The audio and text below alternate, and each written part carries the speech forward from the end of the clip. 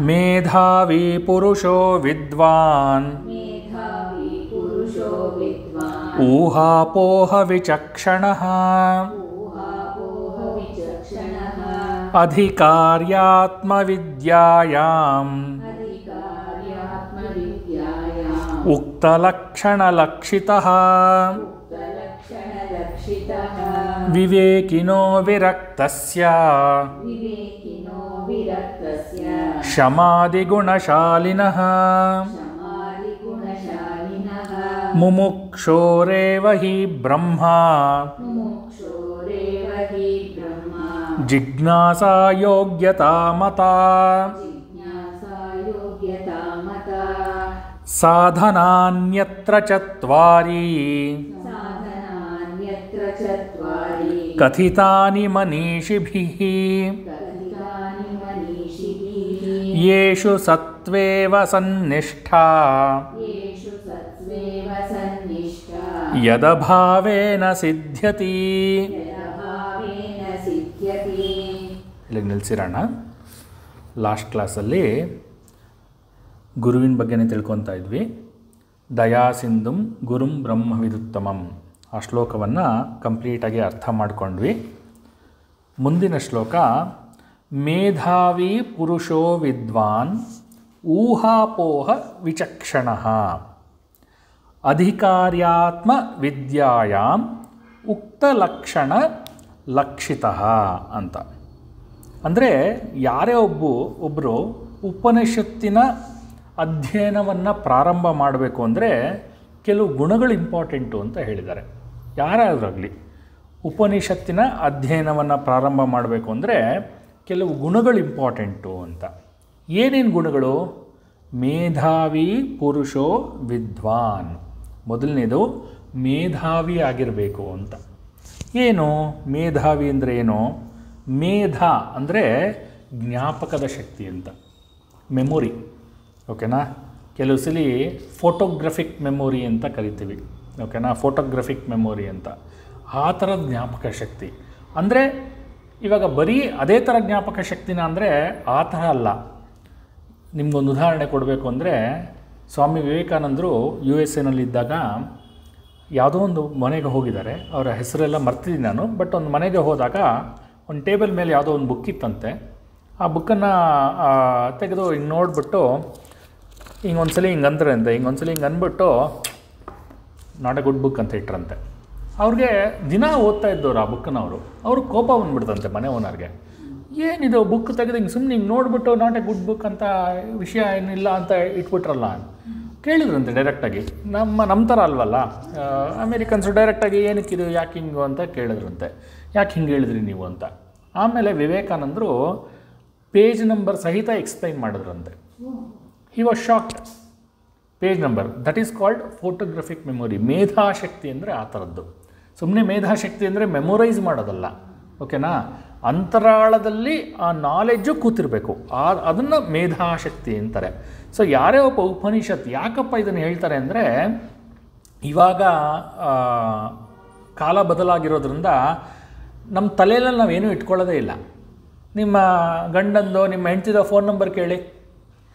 ಎರಡು ನಿಮಿಷ ಯೋಚನೆ ಮಾಡಬೇಕು. ಯಾವುದಪ್ಪ ನಂಬರು ಅಂತ. ಯಾಕೆಂದರೆ ಮೊಬೈಲಲ್ಲಿರುತ್ತೆ ಅದೇ ಥರ ಇವಾಗ ಏನಂದರೆ ಕ್ಲಾಸಲ್ಲಿ ಏನೋ ಎಕ್ಸ್ಪ್ಲೈನ್ ಮಾಡ್ತಾರೆ ನೋಟ್ಸ್ ಬರ್ಕೊತೀವಿ, ಆಮೇಲೆ ಯಾವಾಗಲೋ ಹೋಗಿ ಓದ್ತೀವಿ ಈ ಥರ ಈ ಥರ ಆಗೋಗಿದೆ. ಬಟ್ ಹಳೆ ಕಾಲದಲ್ಲಿ ಆ ಥರ ಇರಲಿಲ್ಲ. ಏನಂದರೆ ಬರ್ಕೊಳ್ಳೋವಂತಹ ಜಾ, ವ್ಯವಸ್ಥೆಗಳು ಜಾಸ್ತಿ ಇರಲಿಲ್ಲ. ಸೊ ಕೂತ್ಕೊಂಡು ಕೇಳಬೇಕಾಗಿತ್ತು. ಕೇಳಿ ಕೇಳಿ ಕೇಳಿ ಕೇಳಿ ಎಲ್ಲ ತಲೆಯಲ್ಲಿ ಇಟ್ಕೋಬೇಕಾಗಿತ್ತು. ಬೇರೆ ಆಪ್ಷನ್ ಇರಲಿಲ್ಲ. ಸೊ ಅವಾಗ ಅದು ಮೇಧಾಶಕ್ತಿಯಾಗಿತ್ತು. ಬಟ್ ಇವಾಗ ಏನು ಮಾಡೋಕ್ಕಾಗಲ್ಲ? ನಾವೆಲ್ಲ ಮೆಮೊರಿಗಳನ್ನು ಐದರ ಸಿಮ್ಮಲ್ಲಿ ಇಡ್ತೀವಿ, ಚಿಪ್ಪಲ್ಲಿ ಇಡ್ತೀವಿ ಅಥವಾ ಇನ್ನೊಂದು ಕಡೆ ಎಲ್ಲ ಒಂದು ಕಡೆ ಇಡ್ತೀವಿ. ತಲೆಯಲ್ಲಿ ಏನಿದೆ ಅಂತ ಕೇಳಿದ್ರೆ ಇರಲ್ಲ ತಲೆಯಲ್ಲಿ ಏನೇ ಆದರೂ ಹುಡುಕ್ಬೇಕು. ಕಂಪ್ಯೂಟ್ರಲ್ಲಿ ಇಟ್ಟಿರ್ತೀವಿ, ಏನೇ ಆದರೂ ಹುಡುಕ್ಬೇಕು. ಆ ಮೇಧಾಶಕ್ತಿ ಬೇಕು, ಆ ಮೇಧ, ಅದನ್ನೇ ಹೇಳ್ತಾ ಇರೋದು. ಮೇಧಾವಿ, ಅವನು ಮೇಧಾವಿ ಅಂತ.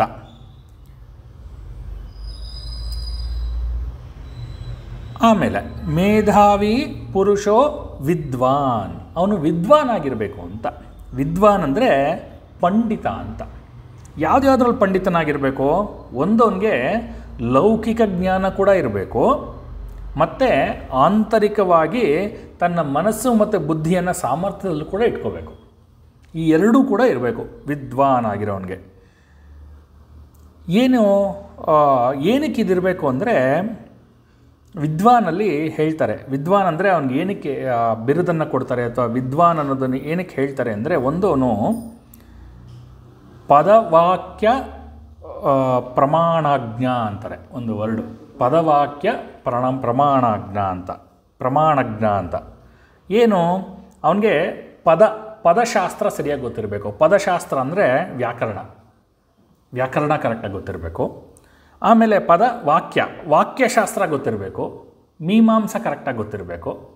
ಇನ್ನೊಂದು ಪ್ರಮಾಣಶಾಸ್ತ್ರ ನ್ಯಾಯ. ನ್ಯಾಯ ಪ್ರಮಾಣಶಾಸ್ತ್ರ ಕರೆಕ್ಟಾಗಿ ಗೊತ್ತು ಈ ಮೂರನ್ನೂ ಕರೆಕ್ಟಾಗಿ ತಿಳ್ಕೊಂಡಿರೋನಿಗೆ ಪದವಾಕ್ಯ ಪ್ರಮಾಣಜ್ಞ ಅಂತ ಹೇಳ್ತಾರೆ. ಅವನನ್ನ ಏನಂತ ಕರೀತಾರೆ ಮೀಮಾಂಸ ಅಂದರೆ ಏನು ಸರ್? ಮೀಮಾಂಸ ಅಂದರೆ ವಾಕ್ಯಶಾಸ್ತ್ರ ಮೇಡಮ್ ಅದು. ವಾಕ್ಯಗಳು ಅಂದರೆ ನಮ್ಮ ಇದರಲ್ಲಿ ಬರುತ್ತಲ್ಲ ಯಾವುದು ಉತ್ತರ ಮೀಮಾಂಸ ಮತ್ತು ಪೂರ್ವ ಮೀಮಾಂಸ ಅಂತ ಬರುತ್ತೆ. ಅಲ್ಲಿ ನಾವು ಮಾಡಬೇಕಾಗಿರುವ ಕರ್ಮಗಳನ್ನು ಹೇಳಿದ್ದಾರೆ. ಏನೇನು ಮಾಡಬೇಕು? ಈಗ ಪೂಜೆದಾಗಿರಬಹುದು ಅಥವಾ ಎಲ್ಲ ಇದೆಯಲ್ಲ, ಅದೆಲ್ಲ ಕೂಡ ಅದರಲ್ಲಿ ಬರುತ್ತೆ. ಉತ್ತರ ಮೀಮಾಂಸ ಮತ್ತು ಪೂರ್ವ ಮೀಮಾಂಸ. ಆ ಮೀಮಾಂಸ ಶಾಸ್ತ್ರವನ್ನು ಕರೆಕ್ಟಾಗಿ ತಿಳ್ಕೊಂಡಿರಬೇಕು ಅವನು. ಆಮೇಲೆ ಪ್ರಮಾಣ. ಪ್ರಮಾಣ ಅದು ನ್ಯಾಯಶಾಸ್ತ್ರ. ನ್ಯಾಯಶಾಸ್ತ್ರವನ್ನು ಕರೆಕ್ಟಾಗಿ ತಿಳ್ಕೊಂಡಿರಬೇಕು. ಸೊ ಇದನ್ನು ಪದವಾಕ್ಯ ಪ್ರಮಾಣಜ್ಞ. ಅವನು ಪದವಾಕ್ಯ ಪ್ರಮಾಣಜ್ಞ ಆಗಿದ್ದರೆ ಅವನನ್ನು ವಿದ್ವಾನ್ ಅಂತ ಕರೀತಾರೆ. ವಿವೇ, ವಿದ್ವಾನ್ ಅಂತ ಕರೀತಾರೆ. ಮತ್ತು ಇನ್ನೇನಿರಬೇಕು ಅವನಿಗೆ? ವೇದಾಂತದ ವಿದ್ಯಾ ವಿದ್ಯಾರ್ಥಿ ಅಂದಾಗ ಅವನು ಸೂಕ್ಷ್ಮಮತಿಯಾಗಿರಬೇಕು. ಅಂದರೆ ಮನಸ್ಸು ತುಂಬ ಸೂಕ್ಷ್ಮ ಇರಬೇಕು. ನೋಡಿದ ತಕ್ಷಣ ಅನಲೈಸ್ ಮಾಡೋದು ನೋಡಿದ ತಕ್ಷಣ ಪ್ರಾಕ್ಟಿಕಲ್ಲಾಗಿ ಏನಾದರೂ ವರ್ಕ್ ಮಾಡೋದು, ನೋಡಿದ ತಕ್ಷಣ ಕಂಪ್ಯಾರಿಸನ್ ಮಾಡೋದು, ಯಾವತ್ತೋ ನೋಡಿರ್ತಾನೆ, ಯಾವತ್ತೋ ಒಂದು ವಾಕ್ಯವನ್ನು ಕೇಳಿರ್ತಾನೆ, ಅದನ್ನು ಯಾವತ್ತೋ ಒಂದು ದಿವಸ ಪ್ರಾಕ್ಟಿಕಲ್ಲಾಗಿ ಅಪ್ಲೈ ಆದಾಗ ಅದನ್ನು ಅನುಭವಿಸೋದು, ಇದೆಲ್ಲ ಸೂಕ್ಷ್ಮತೆ ಇರಬೇಕು. ಮತ್ತು ಈ ವೆರಿ ಇಂಪಾರ್ಟೆಂಟ್ ಥಿಂಗ್ ಅಂದರೆ ಜ್ಞಾನ ಸಂಗ್ರಹಕ್ಕೆ ಸಿದ್ಧ ಇರಬೇಕು. ಅಂದರೆ he has to thirst for the knowledge ಆ ನಾಲೆಡ್ಜ್ ನಾಲೆಡ್ಜ್ ನಾಲೆಡ್ಜ್ ಎಲ್ಲೇ ಹೋದ್ರೂ ನನಗೇನಾದ್ರು ಜ್ಞಾನ ಸಿಗತ್ತಾ ಇಲ್ಲಿ? ನನಗೇನಾದ್ರು ಜ್ಞಾನ ಸಿಗತ್ತಾ? ನಾನು ಇದಕ್ಕೆ ನಾನು ಹೇಳ್ತಾ ಇರ್ತೀನಿ, ನಮ್ಮ ವೈ ಎ ಸಿ ಸ್ಟೂಡೆಂಟ್ಸ್ಗೂ ನಮ್ಮ ಕೋರ್ಸ್ ಸ್ಟೂಡೆಂಟ್ಸ್ಗೂ ಹೇಳ್ತಾ ಇರ್ತೀನಿ. ಏನಂದರೆ ದಯವಿಟ್ಟು ತಪ್ಪು ಮಾಡಿ, ತಪ್ಪುಗಳನ್ನು ಮಾಡಿ ಬಟ್ ಮಾಡಿದ ತಪ್ಪನ್ನೇ ರಿಪೀಟ್ ಮಾಡಬೇಡಿ ಅಂತ ಹೇಳ್ತೀನಿ. ಹೊಸ ತಪ್ಪನ್ನು ಮಾಡಿ. ನೀವು ತಪ್ಪನ್ನು ಮಾಡಿದ್ರೆ ಅದನ್ನೇ ರಿಪೀಟ್ ಮಾಡಿದ್ರೆ ನೀನು ದಡ್ಡನಾಗ್ತೀಯ ಮೂರ್ಖನಾಗ್ತೀಯ ಅದು ಬಿಟ್ಟು ನೀನು ತಪ್ಪನ್ನು ಮಾಡಿ, ಹೊಸ ತಪ್ಪನ್ನು ಮಾಡಿದ್ರೆ ಹೊಸದೇನೋ ಒಂದು ಕಲಿತೀಯ. ಸೊ ಅದು ಆಗಿರಬೇಕು ಅವನಿಗೆ. ಏನು? ಜ್ಞಾನವನ್ನು ಹೆಂಗೆ ತಗೊಳ್ಳೋದು? ಎಲ್ಲೋದ್ರೂ ಅಷ್ಟೇ, ಜ್ಞಾನವನ್ನು ಹೇಗೆ ತಗೊಳ್ಳೋದು? ಜ್ಞಾನದ ವಿಷಯವನ್ನು ಹೇಗೆ ಅರ್ಥಕೊಳ್ಳೋದು ಇದ್ರ ಬಗ್ಗೆ ಅವನಿಗೆ ಗಮನ ಇರಬೇಕು. ಸೊ ಅವನನ್ನು ವಿದ್ವಾನ್ ಅಂತ ಕರೀತಾರೆ, ಅಂಥವನ್ನ ಪಂಡಿತ ಅಂತ ಕೂಡ ಕರೀತಾರೆ. ಅವನಿಗೆ ಇನ್ನೊಂದು ಏನಿರಬೇಕು ಊಹಾಪೋಹ ವಿಚಕ್ಷಣ. ಊಹಾಪೋಹ ವಿಚಕ್ಷಣ. ಊಹಾಪೋಹ ವಿಚಕ್ಷಣ ಅಂದರೆ ಅವನಿಗೆ ಅಂದಾಜು ಮಾಡೋಕ್ಕೆ ಬರಬೇಕು. ಅಂದಾಜು ತುಂಬ ಇಂಪಾರ್ಟೆಂಟು ಒಂದು ಉದಾಹರಣೆಯನ್ನು ಕೊಡ್ತೀನಿ. ಐ ಥಿಂಕ್ ಇದು ಕೊಟ್ಟಿದ್ದೆ ಅನಿಸುತ್ತೆ ಹಳೆ ಕ್ಲಾಸ್ಗಳಲ್ಲಿ ಯಾರೋ ಒಬ್ಬ ಪಂಡಿತ ಇರ್ತಾನೆ. ಪಂಡಿತ ಅಂದರೆ ವೈದ್ಯ. ವೈದ್ಯ ಒಬ್ಬ ಇರ್ತಾನೆ. ಆಗಿನ ಕಾಲದೆಲ್ಲ ಹಳೆ ಕಾಲದ ಪಂಡಿತರು ಇರ್ತಾರಲ್ಲ, ನಾ ಏನು ಹಳ್ಳೆಕಾಯಿ ಪಂಡಿತ ಅಂತಾರಲ್ಲ, ಆ ಥರ ಒಬ್ಬ ಪಂಡಿತ ಇರ್ತಾನೆ. ಯಾರೋ ಮನೆ, ಗೌಡ್ರು ಮನೆಯಲ್ಲಿ ಮಗಂಗೆ ಹೊಟ್ಟೆ ನೋವು ಬಂದಿರುತ್ತೆ. ಮಗಂಗೋ ಅಥವಾ ಗೌಡ್ರಿಗೋ ಯಾರಿಗೋ ಹೊಟ್ಟೆ ನೋವು ಬಂದಿರುತ್ತೆ. ಇವನು ಚೆಕ್ ಮಾಡೋಕ್ಕೆ ಅಂತ ಹೋಗ್ತಾನೆ. ಅಲ್ಲಿ ಹೋಗ್ಬಿಟ್ಟು ಚಿಕಿತ್ಸೆ ಕೊಡೋಕ್ಕೆ ಅಂತ ಹೋಗ್ತಾನೆ. ಆಮೇಲೆ, ಏನಪ್ಪ, ಕಡಲೆಕಾಯಿ ತಿನ್ಬಿಟ್ಟಿದ್ಯಾ?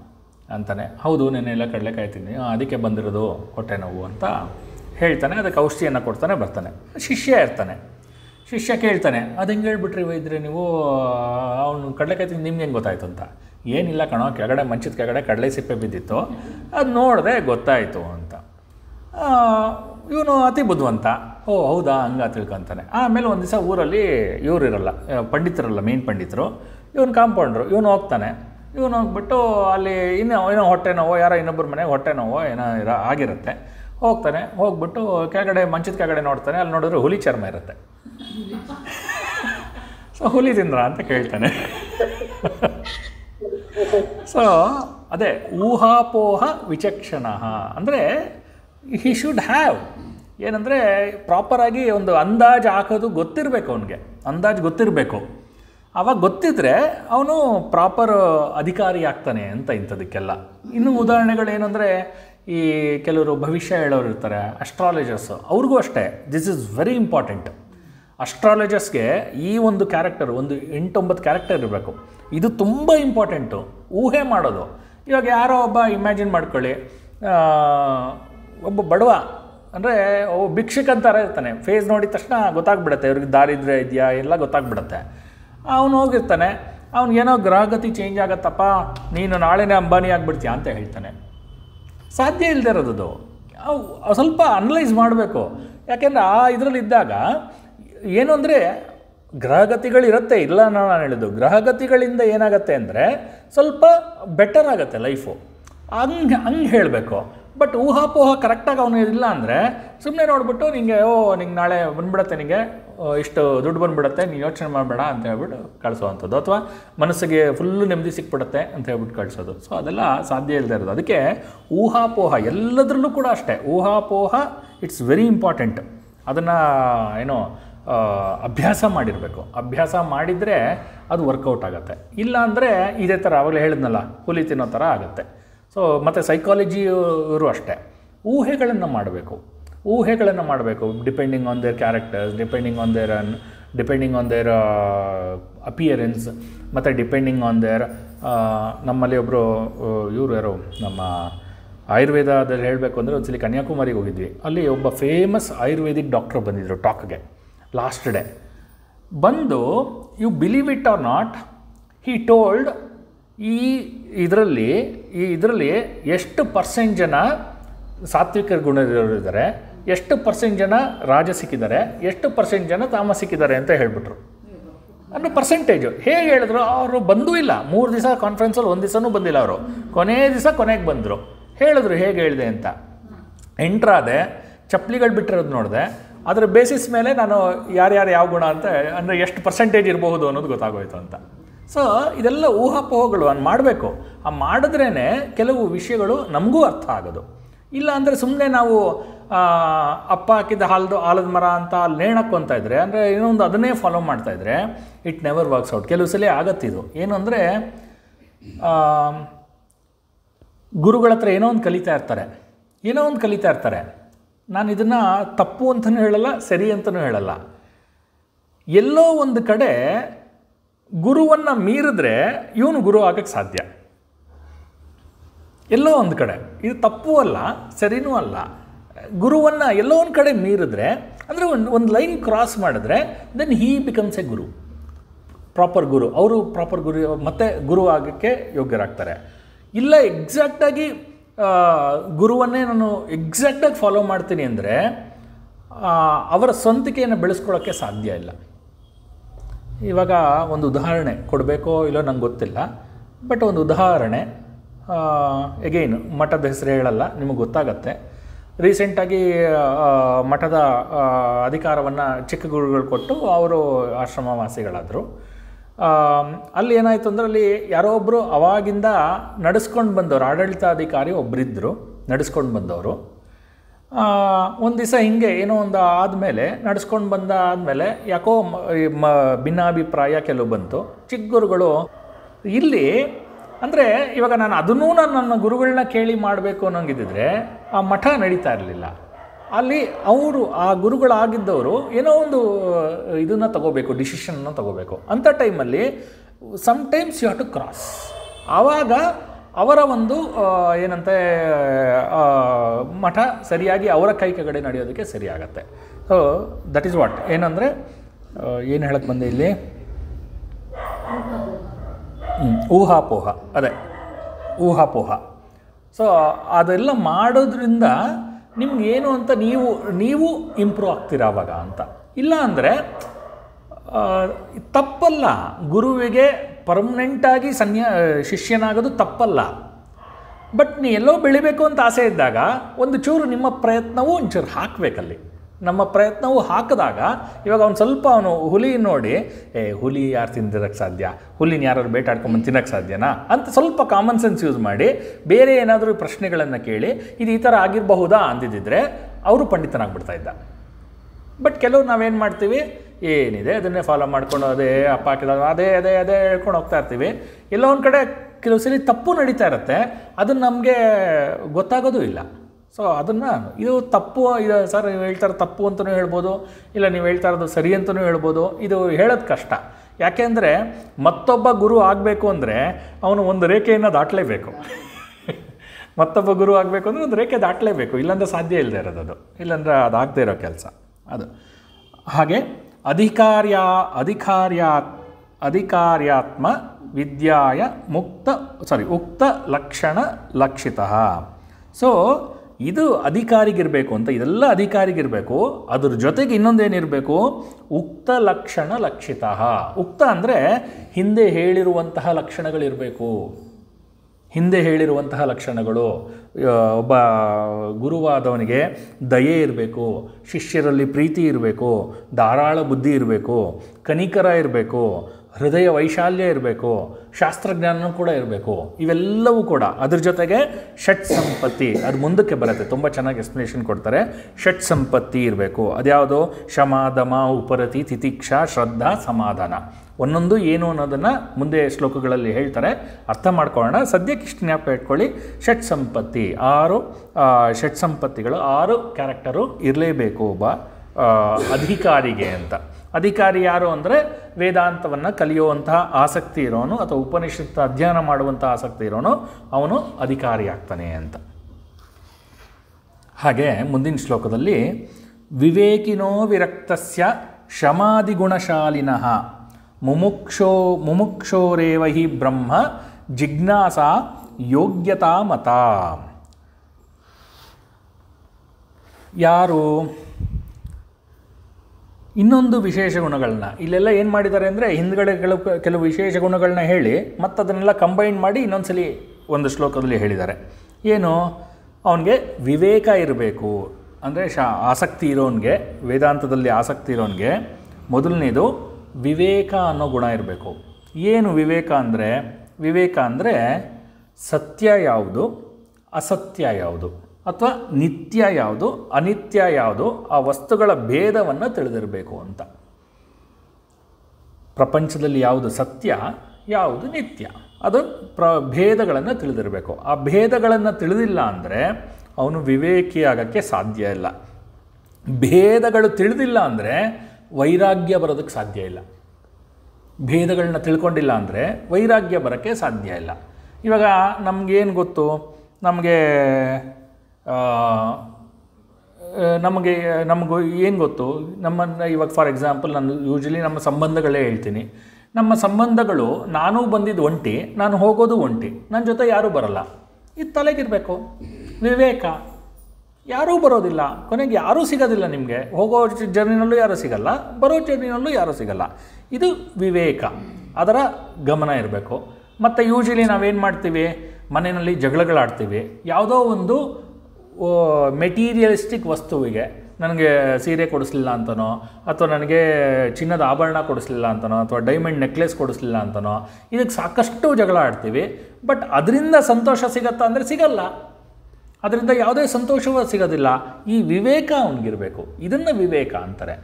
ಈ ವಿವೇಕದ ಕ್ಲಾರಿಟಿ ಕರೆಕ್ಟಾಗಿ ಇದ್ಬಿಟ್ರೆ ಅವನು ವೈರಾಗ್ಯ ಆಗ್ತಾನೆ. ವೈರಾಗ್ಯ ಬರುತ್ತೆ. ಅದನ್ನೇ ಇಲ್ಲಿ ಹೇಳಿರೋದು. ಏನಂದರೆ, ವಿವೇಕ ಇದ್ದರೆ ವೈರಾಗ್ಯ ಬರುತ್ತೆ, ಮತ್ತು ಷಟ್ಸಂಪತ್ತಿ ಇದ್ದರೆ ಅವನಿಗೆ ಮುಮುಕ್ಷತ್ವ ಸಿಗತ್ತೆ ಅಂತ. ಸೊ ಮೊದಲನೇದು, ವಿವೇಕ ಇದ್ದರೆ ಅವನಿಗೆ ವೈರಾಗ್ಯ. ಸೊ ವೈರಾಗ್ಯ ಅದೇನು? ಆ್ಯಕ್ಚುಲಿ ಏನು ಹೇಳ್ತಾರೆ? ವೈರಾಗ್ಯವು ವಿವೇಕದ ಫಲ ಅಂತಾರೆ. ಅಂದರೆ ವಿವೇಕ ನೀನು ಕರೆಕ್ಟಾಗಿದ್ದರೆ ವೈರಾಗ್ಯ ಬರುತ್ತೆ. ಓಕೆನಾ ಇವಾಗ ಯಾರೋ ಬಂದು ನನಗೆ ಹೇಳ್ತಾರೆ ನನಗೆ ಇಲ್ಲಿ ಕೂತಿರ್ತೀನಿ, ನನಗೆ ಹೇಳ್ತಾರೆ ರಾಜೇಶ್ ಸರ್, ನೀವು ಅಲ್ಲಿಗೆ ಬಂದುಬಿಡಿ. ನೀವು ಬಂದುಬಿಡಿ, ಇದಕ್ಕೆ ನಿಮ್ಗೊಂದು ಹತ್ತಲ್ಲ ಹದಿನೈದು ಸಾವಿರ ರೂಪಾಯಿ ಕೊಡಿಸ್ತೀನಿ. ನಾವು ಹೇಳಿದ್ದು ಮಾಡಿ ಅಂತಾರೆ. ನಮ್ಗೆ ವಿವೇಕ ಇದ್ದರೆ I had to analyse whether I had to go or not ಅಂತ. ಒಂದ್ಸಲಿ ಒಬ್ಬ ಸಣ್ಣ ಸಾಧು, ಒಂದು ಗುಹೆ ಒಳಗಡೆ ಇರ್ತಾರೆ. ಇದು ನಡೆದಿರುವಂತಹ ಕತೆ. ಯಾಕೆ ಸ್ವಾಮಿ ರಾಮ ಬುಕ್ಕಲ್ಲಿ ಇದ್ದಿದ್ದು. ಗುಹೆ ಒಳಗಡೆ ಇರ್ತಾರೆ ತಪಸ್ ಮಾಡ್ತಾ ಇರ್ತಾರೆ. ಅಲ್ಲಿನ ಸರೌಂಡಿಂಗ್ನ ಒಬ್ಬ ಧನಿಕ, ಶ್ರೀಮಂತ, ಅಂದರೆ ಗುಡ್ಡದ ಮೇಲೆ ಇರ್ತಾರೆ. ಕೆಳಗಡೆ ಊರಲ್ಲಿರೋಂಥ ದೊಡ್ಡ ಶ್ರೀಮಂತ. ಆ ಶ್ರೀಮಂತ ಸಾಧುವನ್ನು ನೋಡೋಕ್ಕೆ ಅಂತ ಬರ್ತಾನೆ. ಒಂದು ಸೂಟ್ ಕೇಸ್ ತುಂಬ ದುಡ್ಡು ತೊಗೊಂಬರ್ತಾನೆ ಸೂಟ್ ಕೇಸ್ ತುಂಬ ದುಡ್ಡು ತೊಗೊಂಬಂದ್ಬಿಟ್ಟು ಸಾಧುಗಳು ಕೊಡ್ತಾನೆ. ಆವಾಗ ಏನು ಮಾಡ್ತಾರೆ ಅವರು? ನೋಡ್ತಾರೆ, ದುಡ್ಡು ನೋಡ್ತಾರೆ, ನೋಡಿಬಿಟ್ಟು ಎಲ್ಲ, ಎಲ್ಲನೂ ಓಪನ್ ಮಾಡಿಬಿಟ್ಟು ಎಲ್ಲನೂ ಕೂತಿರ್ತಾರಲ್ಲ ಕಲ್ ಮೇಲೆ, ಆ ಕಲ್ ಮೇಲೆ ಒಂದು ಬೆಡ್ ಥರ ಹಾಕೊಂಡ್ಬಿಟ್ಟು ಅದ್ರ ಮೇಲೆ ಕೂತ್ಕೊಂಡ್ಬಿಡ್ತಾರೆ. ಇವನಿಗೆ ಕೋಪ ಬಂದ್ಬಿಡುತ್ತೆ. ಈ ಸಾಧು ತನ್ನ ಜೀವಮಾನದಲ್ಲಿ ಒಂದು ರೂಪಾಯಿ ನೋಡಿರಲ್ಲ, ಅಂದರೆ ಒಂದು ಕಟ್ಟು ದುಡ್ಡು ನೋಡಿರಲ್ಲ, ನಾನು ಇಷ್ಟು ದುಡ್ಡು ತಂದು ಕೊಟ್ಟರೆ ತಗೊಂಡು ಇದ್ರ ಮೇಲೆ ಕೂತಿದ್ದಾನಲ್ಲ ಏನು ಅಂತ ಕೋಪ ಬರುತ್ತೆ. ಅವರು ಒಂಥರ ಬೇಜಾರು ಮಾಡ್ಕೊಂಡು ಕೇಳ್ತಾರೆ ಏನಕ್ಕಿದು ಏನು ಅಂತ. ಅವಾಗ ಅವ್ರು ಹೇಳ್ತಾರೆ, ಒಂದು ಬಂಡ್ಲು ಕೊಡ್ತಾರೆ ಬೆಟ್ಟದ ಮೇಲಿರ್ತಾರೆ ಒಂದು ಬಂಡ್ಲು ಕೊಡ್ತಾರೆ. ಬಂಡ್ಲು ಕೊಟ್ಬಿಟ್ಟು ನನಗೆ ಹಶ್ವಾಗ್ತಾ ಇದೆ, ಒಂದೇ ಒಂದು ಆ್ಯಪಲ್ ತೊಗೊಂಬ ಅಂತ ಕೊಡ್ತಾರೆ ಅವನು ಧನಿಕ ಇದ್ದವನು, ಇವಾಗ ಎಲ್ಲೋಗ್ಲಿ, ಈ ಬೆಟ್ಟದ ಮೇಲಿಂದ ಅಲ್ಲೆಲ್ಲೋಗಿ ನಾನು ಆ್ಯಪಲ್ ತರಲಿ, ಇವಾಗ ಎಲ್ಲಿ ಸಿಗತ್ತೆ? ಅಂತಾನೆ. ನಿನ್ನ ದುಡ್ಡು, ಇಷ್ಟು ದುಡ್ಡು, ಒಂದು ಆ್ಯಪಲ್ ತರಕ್ಕೆ ಅದಕ್ಕೆ ಶಕ್ತಿ ಇಲ್ಲ ಅಂದರೆ ಇದರಿಂದ ನನಗೆ ಏನು ಪ್ರಯೋಜನ? ಇದು ವಿವೇಕ. ಇದು ವಿವೇಕ. ಸ್ವಾಮಿ ವಿವೇಕಾನಂದರು ಇದರಲ್ಲಿ ಅದು ಅಮೇರಿಕಾದಲ್ಲಿ ಲೆಕ್ಚರ್ನ ಕೊಡ್ತಾ ಇರ್ತಾರೆ. ಬೇರೆ ಬೇರೆ ಕಡೆ ಚಗ ಲೆಕ್ಚರ್ ಕೊಡ್ತಾ ಇರ್ತಾರೆ. ಅಲ್ಲೂ ಹಾಗೆ, ಒಬ್ಬ ಶ್ರೀಮಂತ ಬರ್ತಾನೆ, ಆ ಏರಿಯಾದ ದೊಡ್ಡ ಶ್ರೀಮಂತ.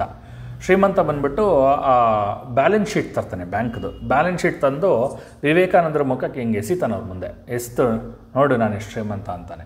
ಅವರು ವಿವೇಕಾನಂದರು ಏನು ತಲೆ ಕೆಡಿಸ್ಕೊಳ್ಳಲ್ಲ, ತೊಗೊತಾರೆ. ಆ ಬ್ಯಾಲೆನ್ಸ್ ಶೀಟ್ನ ಹಿಂಗೆ ತಗೊಂಡು ನೋಡಿ ಹಿಂಗೆಲ್ಲ ನೋಡ್ತಾರೆ. ಆ ಪಾಸ್ಬುಕ್ಕು ಅಥವಾ ಬ್ಯಾಲೆನ್ಸ್ ಶೀಟ್ ಏನಿದೆ ಅದೆಲ್ಲ ಹಿಂಗೆ ನೋಡ್ತಾರೆ. ನೋಡ್ಬಿಟ್ಟು ಅವರು ಮತ್ತೆ ವಾಪಸ್ ಹಂಗೆ ಎಸಿತಾರೆ. It is of no use for me ಅಂತಾರೆ.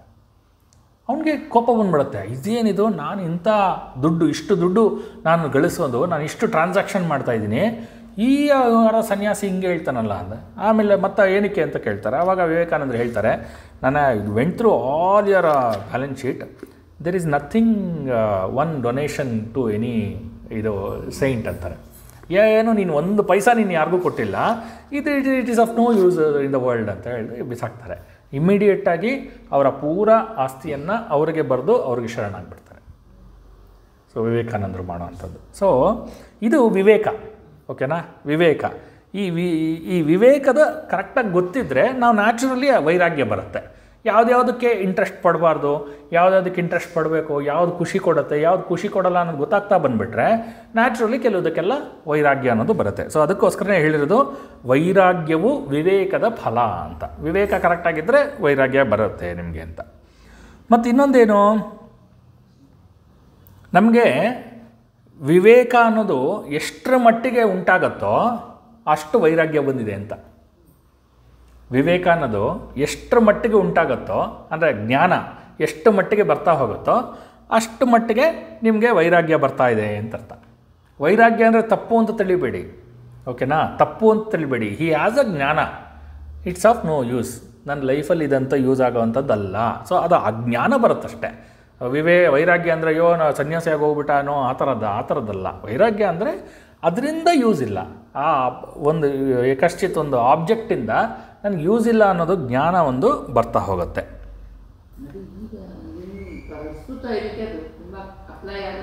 ತುಂಬಾ ಕಷ್ಟ ಹೌದು. ವೆರಿ ಹೌದು.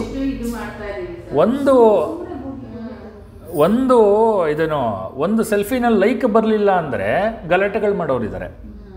ಒಂದು ಮೆಸೇಜ್ಗೆ ರಿಪ್ಲೈ ಬರಲಿಲ್ಲ ಅಂದರೆ ಸೂಸೈಡ್ ಮಾಡ್ಕೊಳ್ಳೋರಿದ್ದಾರೆ ಗಲಾಟೆ ಮಾಡ್ಕೊಂಡಿದ್ದಾರೆ. ನೀವೊಂದು ಹತ್ತು ವರ್ಷ ಇಪ್ಪತ್ತು ವರ್ಷದ ಹಿಂದೆ ನೀವು ಜ್ಞಾಪಿಸ್ಕೊಂಡ್ರೆ ನಿಮಗೆ ಯಾವುದೇ ಡ್ರೆಸ್ಸನ್ನು ಸೆಲೆಕ್ಟ್ ಮಾಡೋಕ್ಕೆ ಹೋದಾಗ ಒನ್ ಇಷ್ಟು ತ್ರೀ ಇರೋದಷ್ಟೇ. ಅಂದರೆ ಒಂದು ನೋಡು ಅದ್ರ ಜೊತೆಗೆ ಒಂದು ಎರಡು ಮೂರು ಇರೋದು ಚೆಕ್ ಮಾಡ್ಕೊಂಡು ಸೀರೆನೋ ಏನೋ ಒಂದು. ಇವಾಗ ಒನ್ ಇಷ್ಟು ಟ್ವೆಂಟಿ ಫೈವ್ ಒನ್ ಇಷ್ಟು ಫಿಫ್ಟಿ ಆಗಿದೆ. ನೀವು ಕಂಡಿದ್ದ ಕಡೆ ಎಲ್ಲ ಡ್ರೆಸ್ಸು ಒಬ್ಬ ಆಯ್ತಪ್ಪ ಒಂದು ಡ್ರೆಸ್ ತೊಗೊಂಡೆ. ಇನ್ನೊಂದರ ಇನ್ನು ಇಪ್ಪತ್ತೈದರದ್ದು ಏನಾಗಬೇಕು ನಿಮ್ಮದು it's a waste it's a waste so ಅದೇ, ಅದನ್ನೇ ಅದನ್ನೇ ಹೇಳೋದು. ವೈರಾಗ್ಯವನ್ನು ಕರೆಕ್ಟಾಗಿ ತಂದ್ಕೊಂಡ್ರೆ ಯಾವುದಕ್ಕೆ ಬೇಕು ಯಾವುದಕ್ಕೆ ಬೇಡ ಅಂತ ತಂದ್ಕೊಂಡ್ರೆ, ನಿಮಗೆ ಸುಧಾಮೂರ್ತಿಯವ್ರದ್ದು ಗೊತ್ತಿರಬೇಕು. ಅವರು ಮದುವೆ ಆದಮೇಲೆ ಐ ಥಿಂಕ್ ಯಾವಾಗಲೂ ಒಂದು ಇದರಿಂದ ಡಿಸೈಡ್ ಮಾಡಿದ್ರಂತೆ. ಐ ನೆವರ್ ಶಾಪ್ ಅಂತ. ಸೊ ಶಾಪೇ ಮಾಡಿಲ್ಲ. ಪರ್ಸ, ಏನೋ ಸೀರೆಯನ್ನು ತೊಗೊಂಡಿಲ್ಲ. ಯಾರೋ ಕೊಟ್ಟಿದ್ದ ಸೀರೆಯನ್ನು ಹಾಕ್ಕೊಂಡು ಓಡಾಡ್ತಾ ಇರ್ತಾರೆ. ಸೊ ಆ ಥರ. ಅದೇ ವಿವೇಕ. ವಿವೇಕ ಬಂದರೆ ವೈರಾಗ್ಯ ನ್ಯಾಚುರಲ್ ತಂತಾನೇ ಬರುತ್ತೆ. ಬಟ್ ನಾವು ಅದನ್ನು ಬಿಡೋಕೆ ರೆಡಿ ಇಲ್ಲ. ಅದು ಹಿಂಗ ಅನ್ಕೊಂಡು ಹೋಗಿದ್ದೆ ಸರ್. ಅಲ್ಲ? ಸೀರೆ ಅಂಗಡಿ ಒಡವಾಗಿ ನೋಡಿದ್ರೆ ಹೇಳ್ಕೊಂಬಿಡತ್ತೆ ಅದಕ್ಕೆ ಹೇಳೋದು ಏನಂದರೆ ನಿನ್ನ ಮನಸ್ಸು ಸ್ಟ್ರಾಂಗ್ ಇರಬೇಕು. ಬಟ್ ನಮ್ಮ ಪ್ರಾಬ್ಲಮ್ ಏನಾಗಿದೆ ಅಂದರೆ ಆ ವಸ್ತುಗಳು ಸ್ಟ್ರಾಂಗ್ ಇದೆ ಕಲಿಯುಗದಲ್ಲಿ. ಕಲಿಯುಗದಲ್ಲಿ ಎಲ್ಲ ವಸ್ತುಗಳು ಸ್ಟ್ರಾಂಗ್ ಇದೆ. ನಿನ್ನ ಮನಸ್ಸು ಸ್ಟ್ರಾಂಗ್ ಇಲ್ಲ. ಸೊ ಅದು ಹೇಳ್ಕೊಂಡು ಹೋಗ್ಬಿಡುತ್ತೆ. ಹಾಗೆ ನೆಕ್ಸ್ಟ್ ಏನು ವಿವೇ ವಿರ ವಿರೋ, ವಿವೇಕಿನೋ ವಿರಕ್ತಸ್ಯ, ವೈರಾಗ್ಯ ಆಯಿತು. ಅದಾದಮೇಲೆ ಶಮಾದಿ ಗುಣಶಾಲಿನಃ ಶಮ ಅಂದರೆ ಮನೋನಿಗ್ರಹ ಅಂತ. ಇದು ಷಟ್ ಸಂಪತ್ತಿನಲ್ಲಿ ಬರುತ್ತೆ. ಮುಂದೆ ಕಂಪ್ಲೀಟ್ ಡೀಟೇಲ್ಸ್ ಬರುತ್ತೆ. ಅದನ್ನು ಆರು ಸಂಪತ್ತುಗಳ ಆರು ಕ್ಯಾರೆಕ್ಟರ್ಗಳನ್ನ ಎಕ್ಸ್ಪ್ಲೈನ್ ಮಾಡ್ತೀನಿ. ಸದ್ಯಕ್ಕೆ ತ, ಜ್ಞಾಪಕ ಇಟ್ಕೊಳ್ಳಿ. ಶಮ ಅಂದರೆ ಮನೋನಿಗ್ರಹ ಅಂತ, ಮನಸ್ಸಿನ ನಿಗ್ರಹ ಅಂತ. ದಮ ಅಂದರೆ ಬಾಹ್ಯ ವಸ್ತುಗಳ ನಿಗ್ರಹ ಅಂತ. ಅದು ಬರುತ್ತೆ, ಅದು ಮುಂದೆ ಹೇಳ್ತೀನಿ ಅದನ್ನು, ಓಕೆನಾ? ಶಮ ಅಂದರೆ ಮನೋನಿಗ್ರಹ ಅಂತ. ನೆಕ್ಸ್ಟು ಸೊ ಈ ಶಮ, ದಮ, ಅವಾಗಲೇ ಹೇಳಿದ್ನಲ್ಲ, ಶಮ, ದಮ, ಉಪರತಿ, ತಿತಿಕ್ಷಾ, ಶ್ರದ್ಧಾ, ಸಮಾಧಾನ. ಇದು ಷಟ್ ಸಂಪತ್ತಿ. ಇದಿದ್ದರೆ ಮುಮುಕ್ಷ, ಮುಮುಕ್ಷುತ್ವಕ್ಕೆ ಅವನು ಅಧಿಕಾರಿಯಾಗ್ತಾನೆ ಅಂತ. ಅಥವಾ ಮುಮುಕ್ಷುತ್ವ ಅವನನ್ನು ಬಯಸಿ ಬಯಸಿ ಬರುತ್ತೆ ಅಂತ. ಅಥವಾ ಮೋಕ್ಷತ್ವ ಅವನ ಬಯಸಿ ಬರುತ್ತೆ ಅಂತ. ಮುಮುಕ್ಷೋ ಮುಮುಕ್ಷೋರೇವ ಹಿ ಬ್ರಹ್ಮ ಜಿಜ್ಞಾಸ. ಅಂದರೆ, ಮುಮುಕ್ಷು ಅಂದರೆ ಮೋಕ್ಷವನ್ನು ಉತ್ಕಟವಾಗಿ ಬಯಸುವನು ಅಂತ. ಅಂದರೆ ಬರ್ನಿಂಗ್ ಫೈರ್ ಮಾಡಲೇಬೇಕು. ಮೋಕ್ಷ ಸಿಗಲೇಬೇಕು ನನಗೆ. ಆ ಥರ ಆ ಥರ. ಬರ್ನಿಂಗ್ ಫೈರ್ ಅಂತ ಕರೀತಾರೆ ಅದಕ್ಕೆ. ಸೊ ಮೋಕ್ಷವನ್ನು ಉತ್ಕಟವಾಗಿ ಬಯಸೋದು. ಏನು ಮೋಕ್ಷ ಅಂದರೆ, ಅದನ್ನು ಒಂದು ಮುಂದೆ ಹೇಳ್ತಾರೆ ಇವರು ಚಿನ್ಮಯಾನಂದರು. ಏನು ಅಂದರೆ, ಅದು ಮುಂದಿನ ಜನ್ಮದಲ್ಲಿ ಸಿಗೋದಲ್ಲ, ಇರೋ ಜನ್ಮದಲ್ಲಿ ಸಿಗೋದು ಅಂತ. ಮೋಕ್ಷ ಅನ್ನೋದು ಇರೋ ಜನ್ಮ. ಮೋಕ್ಷ ಅಂದಮೇಲೆ ಸತ್ತ ಮೇಲೆ ಸಿಗೋದಲ್ಲ. ಮೋಕ್ಷ ಅಂದರೆ ನೀನು ನಿನ್ನ ಪ್ರಾಣ ಹೋಗಬೇಕಾದ್ರೆ ಅಥವಾ ಜೀವನದಲ್ಲಿ ಇರಬೇಕಾದ್ರೆ ಯಾವುದೇ ಒಂದು ವಸ್ತುವಿನ ವಿಚಾರ ಅಥವಾ ಯಾವುದೇ ಒಂದು ವಿಚಾರವು ನಿನ್ನ ಮನಸ್ಸಿಗೆ ಅಂಟಿಕೊಂಡಿರಬಾರ್ದು. ಅದನ್ನು ಆ ಸ್ಥಿತಿಯನ್ನು ಮೋಕ್ಷ ಅಂತ ಕರಿತೀವಿ. ಮೋಕ್ಷ. ಕೆಲವರು ಮೋಕ್ಷದಲ್ಲಿ ಇದ್ದು ಹೋಗ್ತಾರೆ. ಸೊ ನಿನ್ನ ಮನಸ್ಸಿಗೆ ಯಾವುದೇ ಒಂದು ವಿಚಾರ ಕೂಡ ಮನಸ್ಸಿಗೆ ಅಂಟ್ಕೊಂಡಿರಬಾರ್ದು. ದಟ್ ಈಸ್ ಮೋಕ್ಷ. ಮನೆ, ಮಕ್ಕಳು, ಹೆಂಡತಿ, ತಂದೆ, ತಾಯಿ, ಮಗು, ಮೊಮ್ಮಗು ಏನೋ, ಮತ್ತು ಅದೇನು ಇನ್ನೊಂದು ಏನು ಇದು ಕನಕಾಭಿಷೇಕ, ಗಂಡ್ಮಗ ಗಂಡ್ಮಗ ಗಂಡು ಅಂತ ನಾವು ಬರುತ್ತಲ್ಲ, ಕನಕಾಭಿಷೇಕ. ಸೊ ಇದು ಅಯ್ಯೋ, ಕನಕಾಭಿಷೇಕನೇ ಆಗಲಿಲ್ಲ ನನಗೆ. ಸೊ ಈ ಥರದ್ದು ಮತ್ತು ಆಸ್ತಿ ಇದು ಯಾವುದು ಕೂಡ ನಿಮ್ಮ ಮನಸ್ಸಿಗೆ ಒಂದು ಚೂರು ಕೂಡ ಅಂಟ್ಕೊಂಡಿರಬಾರ್ದು. That is the state of moksha so ಅದು ಕಷ್ಟ ಇದೆ ಕಷ್ಟ ಇದೆ. ಬಟ್ ಪ್ರಯತ್ನ ಮಾಡಿದ್ರೆ ಗ್ಯಾರಂಟಿ ಸಿಗತ್ತೆ. ಮತ್ತು ಇನ್ನೊಂದೇನಪ್ಪ, ಮೋಕ್ಷ ಅಂದರೆ ಈ ಲಿಮಿಟೇಷನ್ಸ್ನ ದಾಟಬೇಕು ಅನ್ನೋದು. ನಮಗೆ ದೊಡ್ಡ ಲಿಮಿಟೇಷನ್ಸು ಅಂದರೆ ಅದು ಯೂಶ್ವಲಿ ಏನಂತ ಕರಿತೀವಿ ಅಂದರೆ ಅಲ್ಪತ್ವ ಅಂತ ಕೂಡ ಕರಿತೀವಿ. ಅಲ್ಪತ್ವದಿಂದ ಪೂರ್ಣತ್ವವನ್ನು ಪಡೆಯೋದು ಅಂತ. ಏನು ಅಲ್ಪತ್ವ ಅಂದರೆ ಫಾರ್ ಎಕ್ಸಾಂಪಲ್ಲು ನೀವು ಐ ಥಿಂಕ್ ಒಂದು ಒಂದು ವಾರದಿಂದೇನೋ ಒಂದು ತಿಂಗಳಿಂದೇನೋ ಒಂದು ನ್ಯೂಸ್ ಬಂದಿತ್ತು. ಈ ಗುಜರಾತಿನ ಒಬ್ಬ ಶ್ರೀಮಂತ, ಅವನ ಆಸ್ತಿ ಇನ್ನೂರು ಕೋಟಿ ಅಂತೆ ಅವರ ಹೆಂಡತಿ ಮತ್ತು ಮಗ. ಮಗ ಹನ್ನೊಂದು ವರ್ಷದವನು ಇಬ್ಬರು ಜೈನ ದೀಕ್ಷೆಯನ್ನು ತಗೊಂಡ್ಬಿಟ್ರು. ದಾನವನ್ನು ಮಾಡಿ. ಇನ್ನೂರು ಕೋಟಿ. It's it's not easy donating that much money ಆ, ಅಷ್ಟು ದುಡ್ಡನ್ನು ಡೊನೇಟ್ ಮಾಡೋದು ಡೊನೇಟ್ ಮಾಡಿ ಸನ್ಯಾಸವನ್ನು ಸ್ವೀಕರಿಸೋದು it is not easy so that is what ಅಲ್ಪತ್ವವನ್ನು ಮೀರಿ ಪೂರ್ಣತ್ವದ ಕಡೆಗೆ ಸಾಕ್ತಾ ಇದ್ದಾರೆ ಅವರು. ಸೊ ಈ ಲಿಮಿಟೇಷನ್ಸ್ನ ಬಿಡಬೇಕು. ಸೊ ಯೂಶಲಿ ನಾನು ನಿಮ್ಗೆ ಹೇಳ್ತಾ ಇರ್ತೀನಿ, ಸ್ಮಶಾನ ವೈರಾಗ್ಯ ಪ್ರಸೂತಿ ವೈರಾಗ್ಯ, ಇನ್ನೂ ಒಂದು ವೈರಾಗ್ಯ ಇದೆ, ಅಭಾವ ವೈರಾಗ್ಯ ಅಂತ. ಓಕೆನಾ? ಸ್ಮಶಾನ ವೈರಾಗ್ಯ ಅಂದರೆ ಸ್ಮಶಾನದಲ್ಲಿ ಮಾತಾಡೋ ಮಾತುಗಳು. ಅಯ್ಯೋ, ಏನು ಲೈಫು? ಏನು ನೋಡು, ಇವತ್ತಿದ್ದ ನಾಳೆ ಓದ ಇದಕ್ಕೋಸ್ಕರ ಜಗಳ ಆಡ್ತೀವಿ ಅಂತ ಆಚೆ ಕಡೆ ಬಂದ್ಬಿಟ್ಟು ಮತ್ತೆ ಫೋನ್ ಮಾಡಿ, ಅವನ, ಲೈ ಬಡ್ಡಿ ದುಡ್ಡು ತಂದಿಲ್ಲ, ನೀನು ದುಡ್ಡು ಕೊಡು ಅನ್ನೋದು ಈ ಥರ ಮಾತಾಡೋದು. ಪ್ರಸೂತಿ ವೈರಾಗ್ಯ ಅಂದರೆ ಇಟ್ ಈಸ್ ಏನು ಅಂದರೆ ಲೇಬರ್ ಪೇಯ್ನು ಲೇಬರ್ ಪೇಯ್ನ್ ಬರೋ ಟೈಮಲ್ಲಿ ಸಾಕಪ್ಪ, ಯಾವ ಜನ್ಮನೂ ಬೇಡ. ಈ ಜನ್ಮನೇ ಬೇಡ ಜೀವನದಲ್ಲಿ ಅಂತ ಅಂದ್ಕೊಳ್ಳೋದು ಮತ್ತು ಆಮೇಲೆ ಮತ್ತೆ ಇನ್ನೊಂದು ಮಗು ಮಾಡ್ಕೊಳ್ಳೋದು. ಸೊ ಇದು ಪ್ರಸೂತಿ ವೈರಾಗ್ಯ. ಇನ್ನೊಂದು ಅಭಾವ ವೈರಾಗ್ಯ ಅಂತ. ಅಭಾವ ವೈರಾಗ್ಯ ಅಂದರೆ ಏನು ಅಂದರೆ ನಾನು ಹೇಳೋದು ನನಗೆ ಐನೂರು ಕೋಟಿ ಬರಲಿ, ಆರುನೂರು ಕೋಟಿ ದಾನ ಮಾಡಿ ಹೋಗ್ತೀನಿ. ಇಲ್ಲವೇ ಇಲ್ಲ ಅಲ್ಲಿ. ಐನೂರು ಕೋಟಿ ಅಲ್ಲ ಐದು ಐದು ಕೋಟಿ ಕೂಡ ಇಲ್ಲ. ಹೇಳೋದು ಹೇಳೋಕ್ಕೆ ಅಭಾವ ವೈರಾಗ್ಯ. ಅದರಿಂದ ವೈರಾಗ್ಯ ಬಿಟ್ಬಿಡೋದು. ಏನು ನಾ ಮಾಡ್ತೀನಿ, ಎಲ್ಲ ಮಾಡ್ಕೊಡ್ತೀನಿ. ಇಲ್ವಾ? ಇನ್ನೊಂದು ಇನ್ನೊಂದು ಅಭಾವ ವೈರಾಗ್ಯ ಏನು ಅಂದರೆ ನಾನು ಫೈವ್ ಸ್ಟಾರ್ ಹೋಟ್ಲಲ್ಲೆಲ್ಲ ತಿನ್ನಲ್ಲಪ್ಪ. ಬಿಟ್ಬಿಟ್ಟಿದ್ದೀನಿ ಒಂದು ಚೂರು ಮುಟ್ಟಲ್ಲ ಫೈವ್ ಸ್ಟಾರ್ ಹೋಟ್ಲಲ್ಲಿ ನನಗೆ ಆ ಕಡೆ ಹೋಗೋದೇ ಇಲ್ಲ ನಾನು. ನಂಗೆ ವೈರಾಗ್ಯ ಬಂದ್ಬಿಟ್ಟಿದೆ ಅದ್ರ ಮೇಲೆ ತಿಂದೇ ಇರಲ್ಲ, ಒಳಗಡೆನೇ ಹೋಗಿರಲ್ಲ. ಯಾಕೆಂದರೆ ಅಷ್ಟು ದುಡ್ಡು ಕೊಡೋಕ್ಕೆ ಆಗಲ್ಲ. ಇದು ಇದನ್ನ ಅಭಾವ ವೈರಾಗ್ಯ ಅನ್ನೋದು. ಈ ಥರ ಸಾಕಷ್ಟು ಜನ ತುಂಬ ಇದ್ದಾರೆ. ಏನಂದ್ರೆ ಅದು ಮಾಡ್ತೀನಿ, ಇದು ಮಾಡ್ತೀನಿ. ಅವ್ರು ಕಂಡೇ ಇರಲ್ಲ ಅದನ್ನು. ಅದನ್ನು ಕಂಡೇ ಇರಲ್ಲ. ಸೊ ಅದು ಅಭಾವ ವೈರಾಗ್ಯ ಅಂತ. ಸೊ ಅಭಾವ ವೈರಾಗ್ಯ ಅಭಾವ ವೈರಾಗ್ಯ ಅನ್ನೋದು ತುಂಬ ಜನಗಳಲ್ಲಿ ಕಾಣ್ತಾ ಇರೋವಂಥದ್ದು. ನಮಗೆ ಈ ವೈರಾಗ್ಯಗಳು ಬೇಡ. ಏನಂದರೆ ಅಲ್ಪತ್ವವನ್ನು ಮೀರಿ ಪೂರ್ಣತ್ವವನ್ನು ಸೇರುವಂತಹ ವೈರಾಗ್ಯ ಬೇಕು. ಎಂಥ ವೈರಾಗ್ಯ ಬೇಕು ನಮಗೆ? ಅಕ್ಕ ಮಹಾದೇವಿ ಅಂತ ವೈರಾಗ್ಯ ಬೇಕು. ಇಮ್ಯಾಜಿನ್ ಮಾಡ್ಕೊಳ್ಳಿ. ಸಾಧ್ಯ ಇದೆಯಾ? ಲಿಮಿಟೇಷನ್ಸ್ ಹೆಂಗೆ ಮೀರಿದ್ದಾರೆ ಅಂದರೆ ನಾನು ಅದಕ್ಕೆ ಆವಾಗಲೇ ಹೇಳಿದ್ದು. ಎಲ್ಲೋ ಒಂದು ಕಡೆ ಲಿಮಿಟೇಷನ್ ಮೀರಿದ್ರೆ ಅವರು ಗುರುಗಳಾಗ್ತಾರೆ ಅಥವಾ ಅವರು ಇನ್ನೂ ಮೇಲೋಗ್ತಾರೆ, ಗುರುಗಿಂತ ಮೇಲೋಗ್ತಾರೆ ಅಂತ. ಸೊ ಅಕ್ಕ ಮಹಾದೇವಿ, ಸಾಧ್ಯ ಇದೆ? ಇಮ್ಯಾಜಿನ್ ಮಾಡ್ಕೊಳ್ಳೋಕೆ ಕೂಡ ಸಾಧ್ಯ ಇದೆಯಾ? ಇಲ್ಲ. ಲಿಮಿಟೇಷನನ್ನು ಮೀರಿದ್ರು. ಅದರಿಂದ ಆಚೆ ಬಂದರು. ಪುರಂದರದಾಸರು, ಅವರು ಏನು ಬಡವರಲ್ಲ, ಶ್ರೀಮಂತರು?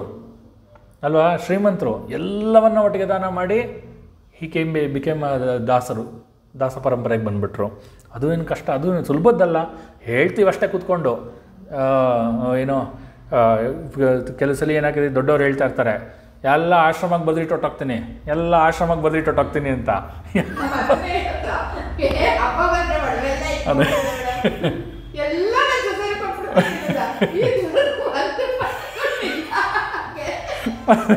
ನೋಡಿ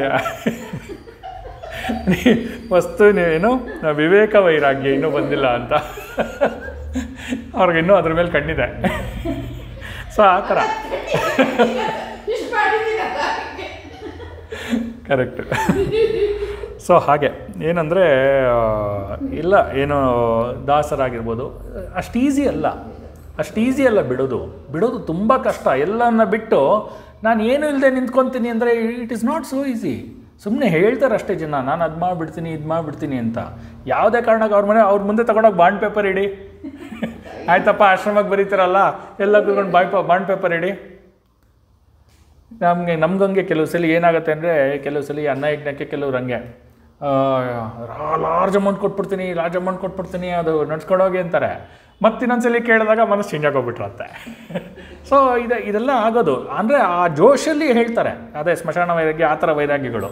ಆ ಜೋಶಲ್ಲಿ ಹೇಳ್ತಾರೆ. ಸೊ ಅದು ಅದು ಮೆಟೀರಿಯಲೈಸ್ ಆಗಲ್ಲ. ಮೆಟೀರಿಯಲೈಸ್ ಆಗೋದು ತುಂಬ ಕಷ್ಟ. ನನಗೆ ಬೇಡ ಅಂತ ಬಿಡೋದು ತುಂಬಾ ಕಷ್ಟ. ನನಗೇನಾದ್ರು ಬೇಡ ಅಂತ ಬಿಡೋದು. ಬೇಡ ಅಂದರೆ ಅದೇ ಹೇಳಿದ ಅಭಾವ ವೈರಾಗ್ಯ ಅಲ್ಲ. ಕಣ್ಣು ಮುಂದೆ ಇಟ್ಕೊಂಡು ಇನ್ನು ನಾಳೆ ನಾನು ಇಲ್ಲಿಂದ ಯೂಸ್ ಮಾಡಲ್ಲ ಇದನ್ನು ಅಂತ ಬಿಡೋದು ತುಂಬ ಕಷ್ಟದ ಕೆಲಸ, ತುಂಬ ಕಷ್ಟದ ಕೆಲಸ. ಗೋಳಾಡ್ಕೊಂಡು ಬಿಡ್ತಾರೆ, ಇಲ್ಲಾಂದರೆ ಬಿಡೋದು ಬಿಡೋಕ್ಕೆ ಸಾಧ್ಯವೇ ಇಲ್ಲ. ಸೊ ಅದು. ಮತ್ತು ಇನ್ನೊಂದು ನಿಮ್ಮ ನಿಮ್ಮ ಏರಿಯಾದಲ್ಲಿರುವಂಥ ಸ್ಕೂಲೇ ಎಕ್ಸಾಂಪಲ್ಲು ಜ್ಯೋತಿ. ಅಲ್ವಾ? ಆ ಪೂರ್ಣವನ್ನು ಮಾಡಿ, ಮಗಳ ನೆನಪಿನಲ್ಲಿ ಪೂರ್ಣ ಸ್ಕೂಲನ್ನು ಮಾಡಿ, ಕೊನೆಗೆ ಅದನ್ನು ದಾನ ಮಾಡಿ ಹೋಗ್ಬಿಟ್ರು. It's very not so easy ಅದೆಲ್ಲ ಕಷ್ಟ ಅಲ್ಲ. ಒಂದ್ಸಲಿ ಅಧಿಕಾರ, ಒಂದ್ಸಲಿ ಇದೆಲ್ಲ ಬಂದ ಮೇಲೆ ಬಿಡೋದಿದೆಯಲ್ಲ. ತುಂಬ ಕಷ್ಟದ ಕೆಲಸ. ಈ ರಾಜಕಾರಣಿಗಳು ಚೇರಿದ್ದಂಗೆ. ಒಂದ್ಸಲಿ ಅಧಿಕಾರ ಬಂದುಬಿಟ್ರೆ ಅದು ಬಿಡೋದು ತುಂಬ ಕಷ್ಟ. ಏನಾದರೂ ಮಾಡೋ ಅಧಿಕಾರ ಉಳಿಸ್ಕೊಳ್ಳೋಕೆ ಪ್ರಯತ್ನ ಮಾಡ್ತಾರೆ. ಇಲ್ಲಾಂದ್ರೆ ಸಾಧ್ಯ ಇಲ್ಲ ಅಂತ. ಸೊ ಅದು ತುಂಬ ಕಷ್ಟ. ಹಾಗೆ, ನಾವು ಏನು ಬಿಡಬೇಕು ಅಂತ ಇದೆಲ್ಲ ಹೈಯರ್ ಲೆವೆಲ್ ಆಯಿತು. ಅಂದರೆ ಅವರೆಲ್ಲ ಸಾಧನೆಯನ್ನು ಮಾಡಿದ್ರು, ಆ ಲೆವೆಲಲ್ಲಿ ಲಿಮಿಟೇಷನ್ಸ್ ನಮ್ಮಿರೋದು ಅಂತ. ನಮ್ಮ ಕೆಲಸ ಏನು? ನಾವು ಅಟ್ಲೀಸ್ಟ್ ಏನು ಅಂದರೆ ಆಚೆ ಕಡೆ ಇನ್ನೊಬ್ರ ಹತ್ರ ಹೋದಾಗ ಮನೆ ಮನೆ ವಿಚಾರ ಮಾಡೋದು ಬಿಡ್ಬೋದು. ಅಲ್ಪತ್ವ. ಅವ್ರ ಮನೇಲಿ ಲಿಂಗಾಯ್ತಂತ್ರಿ, ಇವ್ರ ಮನೆ ಲಿಂಗಾಯ್ತಂತ್ರಿ ನಮ್ಮ ಮನೇಲಿ ಅವ್ರ ಮನೇಲಿ ಹಿಂಗೇರಿ ಇವ್ರ ಮನೇಲಿ ಹಿಂಗೇರಿ ಇದು ಹಿಂಗೇರಿ, ಅವ್ರ ಸೊಸೆ ಹಿಂಗೇರಿ, ಅವ್ರ ಅತ್ತೆ ಹಿಂಗೇರಿ, ಅವ್ರ ಮಾವ ಹಿಂಗೇರಿ ಇದು ಇದನ್ನು ಬಿಡಬಹುದು. ಇನ್ನೊಂದೇನು ಎಲ್ಲೋ ಒಂದು ಕಡೆ ಏನೋ ನಮ್ಮಲ್ಲೇ ಯಾರೋ ಒಬ್ಬರು ಇಂಪ್ರೂವ್ ಆದರೆ ಸ್ವಲ್ಪ ಹೊಟ್ಟೆ ಉರಿ ಶುರು ಆಗುತ್ತೆ. ನನ್ನ ನೋಡು, ಹೆಂಗಿದ್ದ? ಇವ ನೋಡಿ ಹೆಂಗೆ ಆಗೋಗ್ಬಿಟ್ಟಿದ್ದಾನೆ ಇದು, ಈ ಕೆಲವು, ಇದೆಲ್ಲ ಅಲ್ಪತ್ವಗಳು, ಲಿಮಿಟೇಷನ್ಸು, ಇದೆಲ್ಲ. ಹಾಗೆ ಇನ್ನೊಂದೇನು ಮೇನ್ ಇವಾಗ ಈಗಿನ ಜನ್ರೇಷನ್ಗೆ ಎಸ್ಪೆಷಲಿ ಈಗಿನ ಮಿಡಲ್ ಜನ್ರೇಷನ್ಗೆ ಮೇನ್ ಬಿಡಬೇಕಾಗಿರೋದು ಏನಂದರೆ ಸೀರಿಯಲ್ ನೋಡೋದು. ಅದೊಂದು ದೊಡ್ಡ ಬಿಟ್ಬಿಟ್ರೆ ಪೂರ್ಣತ್ವದ ಕಡೆ ಹೋಗ್ಬಿಡುತ್ತೆ. ಬಟ್ ಬಿಡಲ್ಲ. ಅದ್ರಲ್ಲಿ ಬರಂದು ನೋಡಿ ಎಲ್ಲ ಸೀರಿಯಲಲ್ಲೂ ಅದೇ ಕತೆ. ಎಲ್ಲ ಸೀರಿಯಲಲ್ಲೂ ಅದೇ ಕತೆ. ಅದು ಬಿಟ್ಟರೆ ಇನ್ನೇನು ಇರಲ್ಲ. ಸೀರಿಯಸ್ ನೋಡ್ತಾರೆ ನಮ್ಮ ಅಮ್ಮ ಬಂದ್ಬಿಟ್ರೆ ಟಿವಿನ ನೋಡಲ್ಲ ನಮ್ಮಮ್ಮ ಬೆಳಗ್ಗೆ ಏಳು ಗಂಟೆಗೆ ಹಾಕಿದ್ರೆ ಹನ್ನೊಂದು ಗಂಟೆವರೆಗೂ ಅವ್ರು ಟಿವಿ ಓಡ್ತಾ ಇರ್ಬೇಕು. ಕಂಟಿನ್ಯೂಸ್ ಓಡ್ತಾ ಇರ್ಬೇಕು. ಆಮೇಲೆ ಎಲ್ಲ ಸೀರಿಯಲ್ ಎಲ್ಲ ರಪ್ಪ ಇರುತ್ತೆ ಸರ್ ಒಂದಿದ್ದ ನೋಡ್ದ ಫುಲ್ಲು ಅಜ್ಜಿ ಇಷ್ಟು ನೋಡಿದ್ರಲ್ಲ ನಿಮ್ಗೆ ಏನ್ ಅರ್ಥ ಆಯ್ತು? ನೀನ್ ಏನ್ ಅರ್ಥ ಆಯ್ತು ಹೇಳು ಅಂತ.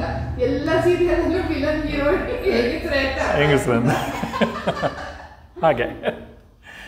ನಾನು ಒಂದ್ಸಲಿ ಹಿಂಗೆ ಮನೆಗೆ ಇಲ್ಲಿಂದ ಹೋದೆ ಮನೆಗೆ, ಏನೋ ಟೆನ್ಷನಲ್ಲಿ ಹೋದೆ, ಹೋಗ್ಬಿಟ್ಟು ಸೀರಿಯಸ್ಸಾಗಿ ಮಾತಾಡ್ತಾ ಇದ್ರು. ಇಲ್ಲ, ಅದು ಅವನು ಹೋಗ್ಬಿಟ್ನಂತೆ, ಅದು ಹೋಗ್ಬಿಟ್ಟಿಯಾನೆ ಮೋಸ್ಟ್ಲಿ ಎಲ್ಲ. ನನಗೆ ಟೆನ್ಷನಲ್ಲಿ ಹೋಗಿದ್ದೆ. ಏ, ಯಾರಿಗೆ ಏನಾಯಿತು ಅಂತ ಚೈತ್ರ ನಮ್ಮ ವೈಫನ್ನು ಕೇಳಿದೆ, ಏನಾಯ್ತು ಏನಾಯ್ತು ಅಂತ. ಏ ಸೀರಿಯಲಲ್ಲಿ ಅವ್ನು ಸತ್ತೋದ ಅಂತ ಹೇಳ್ತಾರೆ ಹೀಗೆ. ಸೊ ಆ ಕೆಲವು ಲಿಮಿಟೇಜ್ ಚಿಕ್ಕ ಪುಟ್ಟದನ್ನು ನಾವು ಬಿಡೋಕ್ಕೆ ಹೋಗೋದೇ ಇಲ್ಲ. ಅದು ಬಿಟ್ಟರೆ ಜೀವನ ಉದ್ಧಾರ ಆಗುತ್ತೆ ಅನ್ನೋದು ಬಿಡೋದಿಲ್ಲ. ಮತ್ತು ಇನ್ನೊಂದು ಸಿನಿಮಾ ಸಿನಿಮಾನೂ ಅಷ್ಟೇ. ಬ್ಲೈಂಡಾಗಿ ಫಾಲೋ ಮಾಡ್ಕೊಂಡು ಹೋಗೋದು. ಬಿಡಕ್ಕೆ ಹೋಗೋದೇ ಇಲ್ಲ. ಈಗ ಯಾರಪ್ಪ ಅವರು ಮೊನ್ನೆ ಯಾರೋ ಒಬ್ಬರು ಒಂದು ಫೇಸ್ಬುಕ್ಕಲ್ಲೋ ಎಲ್ಲೋ ಹೇಳ್ತಾ ಇದ್ರು ಸಿನಿಮಾ ಹೀರೋಗಳನ್ನು ದಯವಿಟ್ಟು ಹೀರೋ ಅಂತ ಕಡಿಬೇಡಿ ಅಂತ. ಅವರು ಆ್ಯಕ್ಟ್ರ್ ಅಷ್ಟೇ they are not heroes real heroes are different people the who ಹಾಂ who works for the society ಸೊಸೈಟಿಗೆ ಯಾರು ವರ್ಕ್ ಮಾಡ್ತಾರೆ ದೇಶಕ್ಕೋಸ್ಕರ ಯಾರು ಕೆಲಸ ಮಾಡ್ತಾರೆ ಅವ್ರನ್ನ ಹೀರೋಗಳು ಅಂತ ಕರೀರಿ. ನೀವು ಪೇಪರ್ ಅವ್ರು ಏನು ಮಾಡ್ತೀರ ಅಂದರೆ ಸಿನಿಮಾ ಈ ಸಿನಿಮಾದಲ್ಲಿ ನಟನೆ ಮಾಡೋರನ್ನ ಹೀರೋ ಅಂತ ನೋಡಿಸ್ತೀರಾ it's a very wrong thing what you are showing ಅಂತ. ಸೊ ಆ ಥರ. ಹ್ಞೂ ಹೋಗಿ ಹೋಗಿ,